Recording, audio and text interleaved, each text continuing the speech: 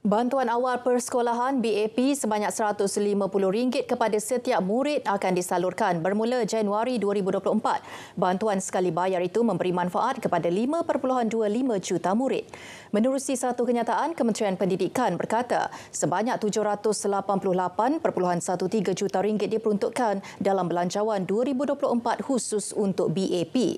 Bayaran akan disalurkan melalui sekolah dan diagihkan kepada murid secara tunai atau kredit ke akaun akaun masing-masing. Penjelasan dibuat susulan timbul kebimbangan sesetengah pihak mengenai ketiadaan BAP dalam pengumuman belanjawan 2024 seperti dilaporkan media. BAP bakal membantu meringankan beban perbelanjaan ibu bapa atau penjaga dalam menyediakan kelengkapan anak-anak bagi menghadapi sesi persekolahan 2024.